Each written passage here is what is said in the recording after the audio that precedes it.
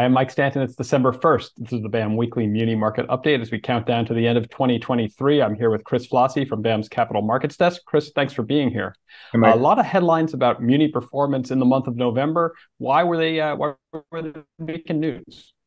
Uh, so this week it was another strong week, and it ended the month of November, which was the strongest month for municipal performance since 1982. So it's been a while since we've had this type of performance.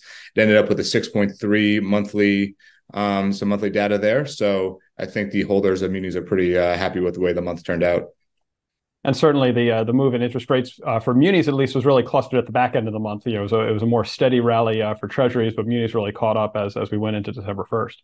That's right. I mean, even this week, the market was pretty focused on a handful of deals that were out there. You know, Illinois GO came in a competitive space that the market was very focused on.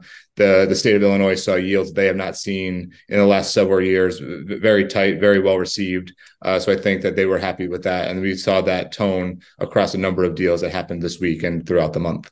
And certainly a combination there of fundamental improvements in Illinois' uh, overall credit standing, as well as uh, the market conditions that, that that fired demand there. That's right.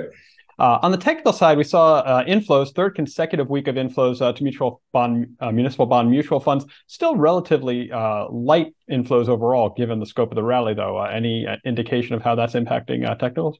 I mean, I mean, it is light as you mentioned, relative, but I think that that's helping the performance. You know, the the deals that are coming um, are getting eaten up by investors, and nothing is really getting hung up unless there is a credit story behind that. So I think the market is pretty comfortable and pretty happy with the way things are going right now.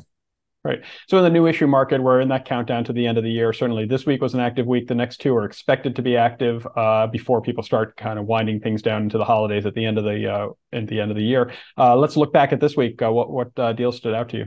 So, so BAM had a standard week there. For us, we had around 20 series of uh, bonds priced with 230 million, 235 million of insured par.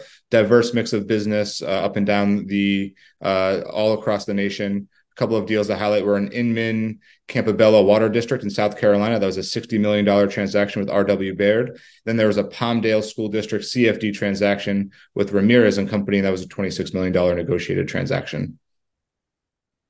And certainly, uh, Inman Campobello, a couple of things to highlight there. We do have a BAM Credit Insights video about that transaction. It's for a new clean water supply for that water district. that's in Spartanburg County in uh, northwestern South Carolina. And that was a BAM Green Star transaction, a, a verified green bond under the ICMA green bond principles. So I'll learn more at the BAM's uh, YouTube site about that transaction. Looking ahead next week, what uh, what's on your calendar? Next week, the, the calendar total is around nine billion. Um, we have a lot of larger issuers uh, on the state side. Uh, state of Hawaii is coming. We have the New York City Transitional Finance Authority. Um, so a lot of chunkier deals on the large, uh, more liquid issuer side.